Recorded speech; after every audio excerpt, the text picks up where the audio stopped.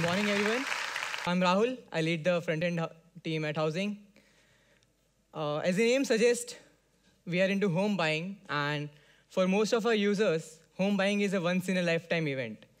And it's a long journey before they settle for their dream home. Uh, we have native apps to facilitate that experience uh, with native performance, better re-engagement, and offline experience.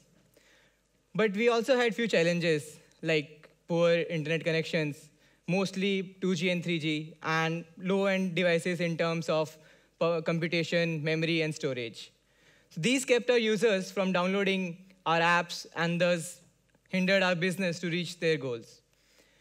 We also had our mobile website, uh, which looks something like this. Uh, the problem with this was it, it was a monolithic code base, having desktop and mobile uh, tangled together, and the components were kind of bloated because of the if-else in JavaScript and the media queries in our CSS. Um, that eventually affected our performance. Right? So we thought about uh, we have to cater the growing need of our uh, user, mobile user base, and we chose to upgrade our mobile website to something that can compete with our native apps. Uh, the reason being simple, web has uh, better discovery and a wider user, ba user base uh, than any other platform. Also, the cost of bringing a user to our mobile web was 50 times cheaper for us than bringing the same user to our native apps. So uh, it, it, was the deal breaker. Like uh, we started off building our mobile website. The first and the foremost thing that we had was to support all the major browsers that are out there uh, that our users use on more than 2,000 different devices that they have. So this was our first aim, and then we thought once we have this part done, we'll upgrade that experience to compete with our native apps. Uh, so we built Housing Go, uh, and we were happy uh, with the kind of metrics that we saw. We were able to bring down our page load times by 30%. We, are, we were having 10% longer user sessions, and the bounce rate was cut down to 40%. On top of all this, the most important part was 38% more conversions on our mobile website. That really helped our business realize the goals much sooner and effectively than earlier.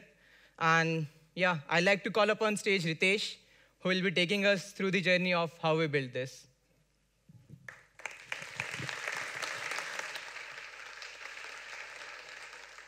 Good morning. So uh, I'm Ritesh. I'm a front-end developer at housing.com. So let's talk about how we actually built it. From the start, we were focusing on four key, uh, areas. Uh, the first one is that we wanted to deliver assets fast. Then we wanted to bring down the time to first meaningful paint, uh, and also the first JS-enabled interaction time. And at the same time, we had to improve the experience of our returning users.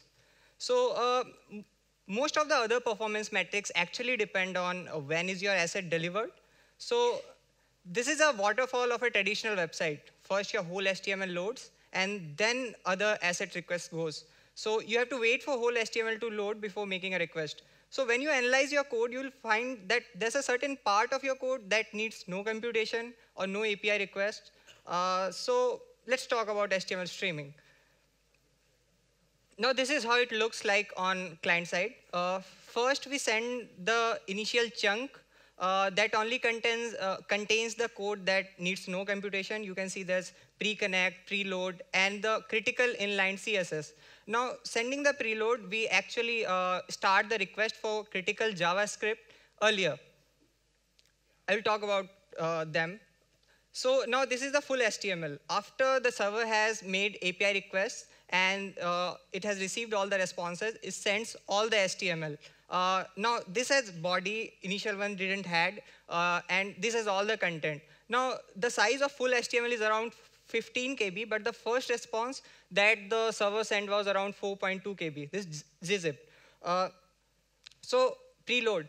Most of the time, the developers already know that a particular route is going to need a few critical resources. You can uh, load them in advance. And so uh, by using HTML streaming and preload in combination, we were able to start the request for critical JS much earlier than other assets. So after we were done with uh, asset delivery, we went ahead to improve our render time. And by render, I mean the first meaningful paint. Now the difference between first paint and first meaningful paint. On the left side, you see that that's first paint. First paint is anything, when there's anything, any pixel available on your phone, most of the time that's not relevant and user feels like waiting. And uh, when the relevant content is there, that's the first meaningful paint. Now we wanted to zero down the difference between these two. So we experimented with server-side rendering. Uh, I am saying experimented because you should always measure before you implement. So this is a traditional app shell model uh, on first load. Till 2.2 seconds, there's a white screen of death. You have nothing to see. Then there's a state where you have something, but it's not relevant to the user. He still has to wait. And around seven seconds, he sees the first meaningful content. Now, the region before 2.2 second and 7 second is what we call the loading screen of purgatory. So, so the user doesn't know what's going to happen. He may receive the content. He has to wait for a certain amount of time. And if there's any error, he will have to wait in that state forever. So we wanted to improve this. We wanted to remove this totally. So this, this is after SSR enabled. Now, uh, when we impl implemented server-side rendering, the first meaningful paint happened at 2.3 seconds. And that was quite an improvement. And this, uh, all these tests have been run with uh, WebPageTest. Uh, uh, it's written on the bottom. So, so the, there's also a bonus when we implement a server-side rendering that uh, the basic meaningful content is available for everyone. I mean, uh, as Rahul said that we have users using more than 2,000 types of devices. And so there are a variety of users uh, with different browsers. The versions may be older ones. So the basic content of, is rendered for all of them. So that's a bonus.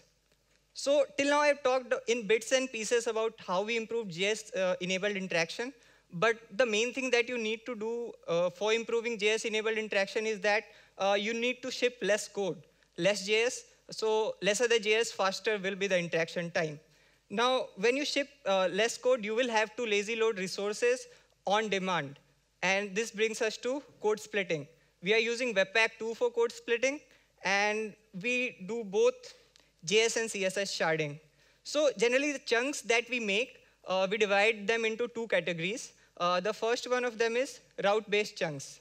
Now, when a user lands to a particular route, First, we make a call for the main JS file that that view will require. And in parallel, we make a request for the corresponding CSS file.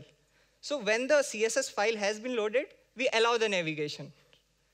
And after his idle, uh, we make a call for the next probable route that he might navigate to, so that when the user uh, navigates to that route, the transition is almost instant.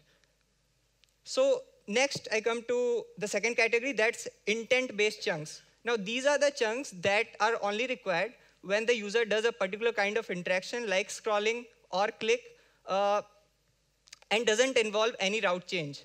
Now, let's take an example. Uh, this is a, our listings page. Now, on top right, you can see a notify button.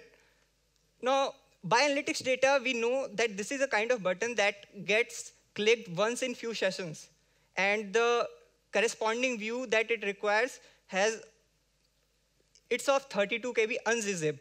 So it makes no sense to, to load that with the main JS bundle because most of the times it will go unused. So we require it only when the user has clicked on that particular button. Uh, so after doing all this, currently we are at a stage where our first meaningful paint happens at around 2.3 seconds. And the first, uh, the JS enable interaction starts at around 4.2 seconds. Now, by JS enable interaction here, uh, I don't mean the DOM content loaded. We have uh, defined a custom metric like we, we calculated this when the component actually mounts. Like since we are using React, uh, it, for us it is actually component did mount. So this is the this is the time when the component did mount gets triggered. So I've talked about how we push critical resources using preload. Uh, we have improved render using uh, SSR and inlining critical CSS. Uh, we are pre-caching uh, assets using service workers, as Rahul will tell you, and we are lazy loading uh, resources on demand. So we are very much uh, near to what the PRPL pattern promotes. And so till now, what I have discussed has improved the experience of first-time users. Now, we also had to improve the experience of returning users. So I'll call back Rahul to tell you more about that.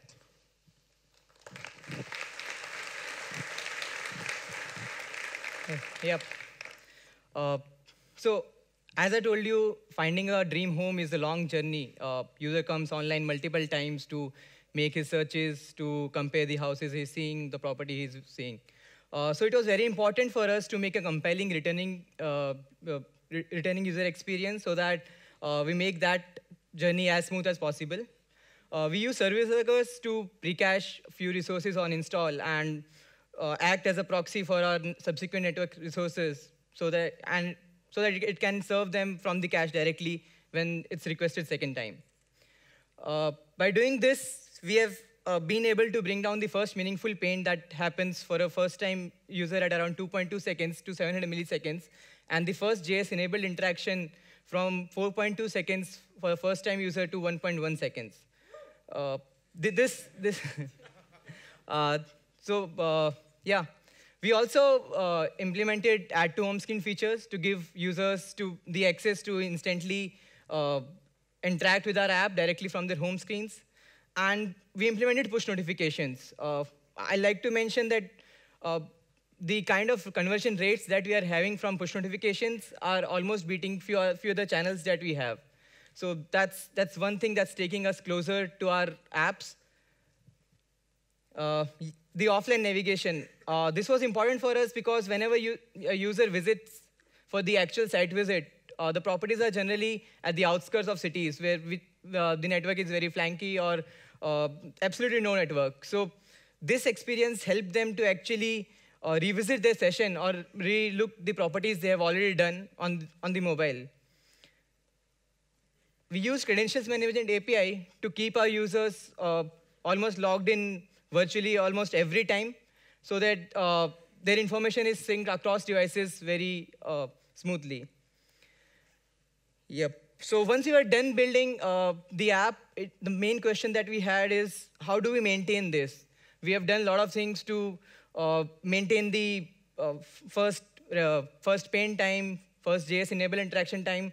But as, as the product evolves, with lot of, lot of features, the, it's very difficult to keep in check these metrics. So we came up with our own system of uh, uh, continuous integration with Webpack and WebPageTest, and we made it as easy as just putting a label on a PR in GitHub. So if you, if you are done with your code and you raise a PR, you just need to put a label run test, and we'll put out all the information that needs to track, track these metrics right on, on the uh, GitHub PR, like the chunk sizes, uh, it helps a reviewer uh, know that how this PR is changing or modifying the chunk sizes that we already serve. Uh, the uh, few route-based statistics, like the first paint, uh, when what's the speed index of the uh, few of the critical routes that we take care of. Also, the network and the timeline view. This helps the reviewer get an essence of what resources and are loading and how they are loaded. So I think this was very important to us uh, to close the loop of the complete development uh, from the development and maintenance. Uh, yeah, it's, it's uh, not always, uh, we, we are yet to do a lot of things to make the app faster. And one of the uh, things that we are experimenting is moving from React to Preact. we, we have seen that in our initial prototypes, moving from React to Preact has brought down a difference of 122 KB in our, in our vendor bundle. And that's huge. Like that's around 700 to 800 milliseconds of JS-enabled interaction time gain on the client side. Uh, we are also uh, experimenting with AMP uh, to let our users have almost in instant uh, uh, experience when they come through Google's, Google results page. So thank you. Thank you all.